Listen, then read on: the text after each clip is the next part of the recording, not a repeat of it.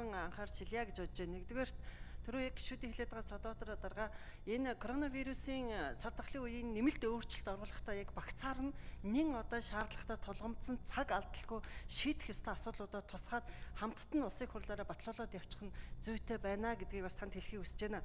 Энтэй холбоотой түрүүн Туван гишүүн бас хуулийн төсөл өргөн барьсан Батмөр гишүүн би за хүний эрхтэй холбоотой нь Бямцаг гишүүн гээд бид нар бас одоо банк санхүүгийн салбарт харилцагч банкудаас ирсэн хүсэлтээр үндэслээд нэн яаралтай авах арга хэмжээтэй холбоотой хуулийн төслүүдийг бас өргөн барьж байгаа юм. Тэгээ энэ одоо жишээлбэл 41 мянга гаруй иргэн орон сууцны ипотекийн зээлээ хойшлуулах хүсэлт цахимаар тавьсан. Гэтэл нөгөө хуулиараа бол албан бичгээр өгсдөг гэдэг. Тэгэхээр энийг хууль эрх зүйд баталгаатай болгохын тулд бид бас цахим гарын үсгтэй холбоотой, эрхтэй холбоотой, иргэний хуультай холбоотой ингээд 7 8 заалт бүхий хуулийн төсөл бас өргөн барьж байгаа. Тэгэхээр нэгтгэхэд нэг мөсөн цаг алдалгүй хилцчих их зүйтэй байна гэдгийг хэлхийг хүсэж байна. А хоёр дахь зүйл нь манай улсын топ 100 аж ахуйн нэгж өнөөдөр энэ хүнд үед ч гэсэн татвар бүрдүүлээ явж байна. Гэтэл өнөөдөр бидний авч байгаа арга хэмжээний дотор энэ хээжин хийх буюу ханшийн зөрүүнээс одоо маш их алдагдал энэ манай аж ахуйн нэгжүүд хүлээж байна.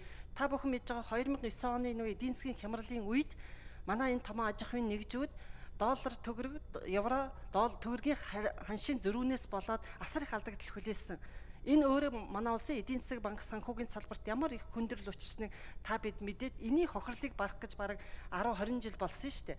Тэгэхээр одоо жишээлбэл Европын холбооны Европын холбооноос авсан хөнгөлөлтөө зээлийн асуудал байна. Чингис бондоос бас доллараар зээл авсан олон аж ахуйн нэгжүүд үнэхээр хүнд байдалд орж ирэл дээ. Өөртөөс нь үл шалтгаалаад тэд ханшийн зөрүүнд бараг 24-аас 30%-аар өссөн ийм зүйлүүд байгаад байна. Тийм учраас бид энэ хүмүүсээ бас орхиод байна. Гэтэл бид хамаг ачааны нуруу энэ хүмүүстээр л үйлдэг. Та сая хүнсний бүтээгдэхүүний баталгаатай хангамж нь манай хувийн хвшлийн аж ахуйн нэгжүүд тэр дундаа энэ дундаас том аж ахуйн нэгжүүд маань аваад явж байгаа тохиолдолд энэ хээжинг хийх буюу ханшийн зөрүүнээс эднэрийг аврах энэ заалтыг энэ ковидын нэмэлт өөрчлөлтөөр нийгэм эдийн засгийн сөргөн нөлөөллөөс урьдчилан сэргийлэх гэж энэ маань өөрөө заалтаа байгаа учраас тусгаад оруулаад ирэх болцоо байна уу? Эсвэл би хүрлаатар сайдаас асуумаар байна. Энийг энэ ковидын хуулиар нэмэлт өөрчлөлтөөр бас зохицуулаад тодорхой заалт тусгаж өгөх болцоо байна уу? Эсвэл тусгай бас хуулийн төсөл засгийн газраас ч юм уу эсвэл улсын их хурлын гишүүдийн зүгээс өргөн бариад явах болцоо байна уу гэдэг дээр маш тодорхой хариулт өгөөч. Бид энэ хүмүүсээ бас энэ үед анхаарч бас тэдэндээ зориулсан тодорхой арга хэмжээ авах нь их чухал байна. Энэ нөгөө бидний улс орны эдийн засгийг бас нуруундаа үрж олон мянган хүнийг ажлын байраар хангаа явж байгаа аж ахуйн нэгжүүд маань өнөөдөр үнэхээр хүнд байдалд орчод байгааг ялангуяа энэ ханшийн зэрэг бол тэдэнд том дарамт болж байгааг ярьж байна. Тэгэхээр энэ дээр нэг тодорхой хариулт авчаа гэж бодож байна. А хоёр дахь зүйл нь Садатар сайд энэ биднэрт нийгэм бодлогын байнгын хорон дээр нэг ийм höсөлтүүд ирээд байна л да. Одоо энэ QR код бол зам зорчих болцоогүй байгаа. А тэгэхээр нөгөө диализийн аппаратууд зайлшгүй орох шаардлагатай нэг 650-аад иргэн химийн эмчилгээнд ордог 700 гаруй иргэд иргэд байна. А жирэмсний хүндрэлтэй буюу бас ингээд хяналтанд байдаг нэг 3900-аад иргэн байна л да. Тэгээ энэ хүмүүс маань явхад үнэхээр хүндрэл учруулж хэцүү байна. Тэгэхээр тухайн эрүүл мэндийн газраасаа юм уу ямар нэгэн зохицуулт хийхгүй бол одоо тийм зохицуулт байхгүй. Тэгээ энэ эрх маань бас зөрчигдөх аюул тулгараад байгаад нийгмийн бодлогын байнгын хороо анхаарч өгнө гэсэн хүсэлт бидэн дээр бас тэр хүний эрхийн комисс болоод бусад газруудаас ирчээд байгаа юм. Тэгэхээр энэ дээр бас ямар зохицуулт хийх болцоо байна вэ гэдэг дээр хариулт авъя. Манай нийгэм бодлогын байнгын орноос ажлын хэсэг гараад хөнгөлтэй имийн олголт дээр бүх аптекууд хөсөөт болоод эмнэлгүүдээр ажилласан нөхцөл байдал дээр засгийн газартайгаа бол хамтарч ажил. За хоёр дахь асуулт нь Содбаатар сайд харуул, нэхний асуултанд Хүрлбаатар сайд хариулах. За Содбаатар сайд эхлээд хариулъя 82. За хуулиудыг нэгтгэхэд явахын зүйтэй байгаа. Гэхдээ засгаас барьж өгсөн би одоо их хурлаасаа л гуйж байгаа. Засгаас өргөн барьсан хуулиа бол энэ 7 хоногт явуулжвал засгийн хуулийн гол юм нь бол нөгөө хугацааг сунгах юм байгаа юм л да. 31-ний өдрөөр дуусар болчих гээд байгаа. Энэ тийм учраас бусад хуулиуд бол бас эдийн засгийн тооцоо судалгаа гэдээ бас нэлээд харах хэрэгтэй учраас эх 7 хоногт нөгөө өргөн барьж байгаа дөрвөн ч одоо юу байх шиг байна. Нэмэлт өөрчлөлтүүд энийг бас ягаад хуулийнхаа хугацаан дээр манад энэ удаа засгаас барьж байгаа юг хурдан шуурхаа хийгээд хугацаанд нэ гэдэг бол бас хүсэл тавьж байна. За бид нар энэ QR кодоор автомашинд орж байгаа хөдөөний зохицуулт хийж байгаа. Тэгээд эмнэлэг эмнэлэгтэй холбоотой хүмүүсийг эмнэлэг эмнэлгийн тусламж үйлчилгээтэй холбоотой өдөр тутмын авдаг делазын аппаратанд орж байгаа 6000 гаруй хүн бусад одоо энэ хүмүүсийн асуудлыг эмнэлгийнх нь бичгээр зохицуулахаар ингээд шийдвэр гарсан.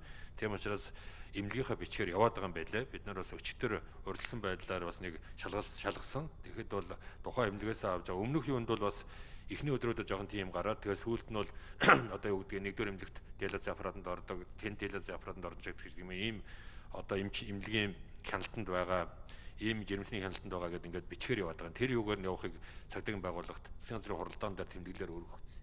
Тэгэхээр тэр зохицуултаар явчихна гэж байна. За тэр эдийн засгийн холбоотой юугаар сангийн сайд ороод ирсэн байгаа даа. За Шимдийн хөрөл Баатар сайд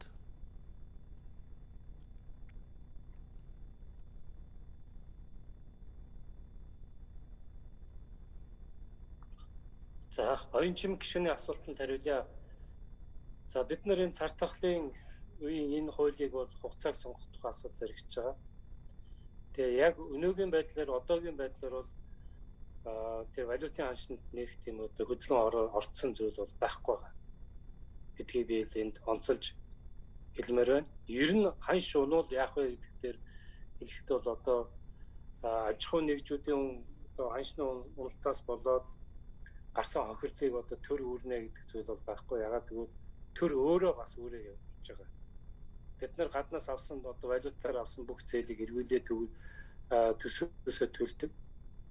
Тэгэхээр энэ хашин дээрээ бас бид нэр засгийн газраас төлж байгаа төлбөрүүд төсөвтөр суугаад гарч байгаа зардлууд, хүүгийн зардал, үндсэн төлбөрийн зардлууд төр бол мөн ялгаагүй тэр хэмжээний хохирлыг бид нар одоо өөр төр аваад явж байгаа. Харин оюун чимэг гишүүний хэлж байгаа зүйл төр бол тэр хээжиг хээжийг бол бид нэр яг цэвэрийг бизнес агуулгаар тэг хийгээ явах чиглэлээр бол одоо хийгээ явах нь зүйтэй гэдэг л ийм л байр суурьтай байна.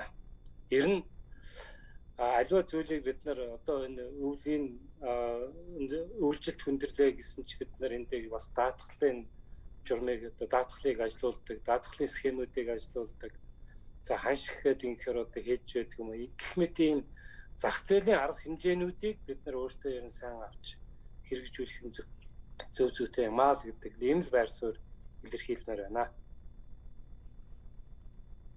Тэгээ ханшийн даатгал буюу одоо хээжийн ханшийн хээжийн тэрих асуудлыг Монгол банк бас энд оролцоод хуулиар бас боломжуудыг нээгээд зохицуулт хийх боломжийг судалж үзэх хэрэгтэй. За оюун чим гүшүү нэг минут тодорхойлоо.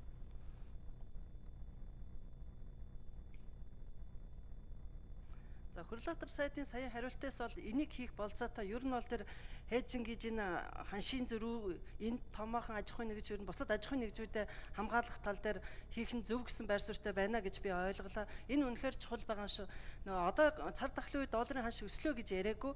Угаасаа 2 3 дахин өссөн байгаа энэ төрхий аж ахуйн нэгжүүд жирийн үед үйл ажиллагаагаараа яаж игээд нэг төлөөд явуулсан бэл одоо нөгөө үйл ажиллагаа нь хумигдсан учраас бас илүү хүндрэл үүсэж байгаа учраас цаг алдалгүй энийг хийх нь зөв байгаа шүү гэдгийг хэлье гэж бодож байна. А хоёр дахь зүйл нь тэр төрөн би бас хэлээд байгаа өнөөдөр аж ахуйн нэгжүүдтэй холбоотой асуудлаас гадна жирийн иргэд дээр одоо энэ содотор сайдын хариулах ёстой зүйл болов гэж би бодож байна энэ QR код явахтай холбоотой зохицуултуудад хийхдээ хүний эрх зөрчигдөхгүй байх тал дээр бол маш их анхаарах хэрэгтэй байлаа.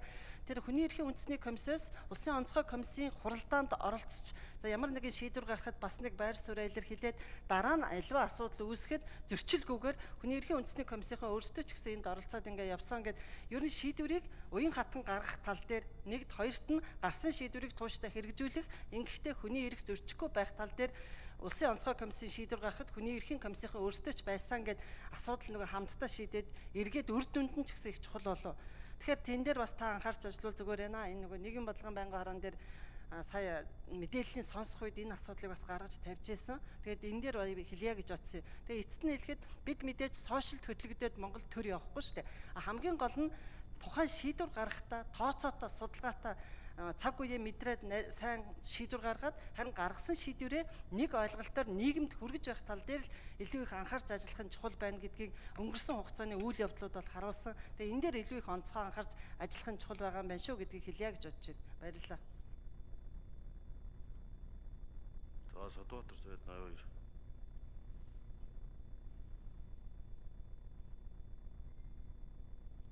Нэрхий үндэсний комиссад тодорхой мэдээлэлүүд өгөөд явж байгаа. Тэгээ бид рүү хэлсэн гамшигын тухай хууль, энэ ковидын тухай хуулиар бол зарим үед хүний эрхийг хязгаарлана шүү дээ. Тэгээ хязгаарлаад ингээд тодорхой шийдвэрүүд гаргаад явхаас аргагүй хуулийн заалттай. Тэгээ тэр заалтаар хязгаарлаад зарим үед явна. А аль болох хүний эрхийн одоо ялангуяа үндсэн эрх рүү халдчихгүй байх гэсэн юм бодлого зарчим барьж ажиллаж байгаа. Тантай санал нэг байна. Мэдээллийн нэгдсэн байдлаар ягах, мэдээлэл нэг болгох, нэг ойлголттой болох тал дээр бол бас учир дутагдaltaй ажиллаж байгаа тал байгаа маа бид нарт. Тийм учраас илүү нөгөө нэг өвчин рүүгээ голомтоо барьж авах, хумих тэр аюулт одоо цар тахлаа зогсоох гэсэн энэ тал руугаа илүү анхаарал хэвлэл PR руугаа их дутуу анхаарал байгаа таны саналтай санал нэг байна. Энэ дээр илүү анхаарч энэ QR кодыг юун дээр байж байгаа болон хэвлийн байгууллагуудтай бас зөв мэдээлэл өгөх энэ талдаа бол илүү анхаарах гэсэн саний саналтай санал нэгдэж байна. За одоо эрхэм гүшүүн Балжинымын баяр сайхан асуулт асууна.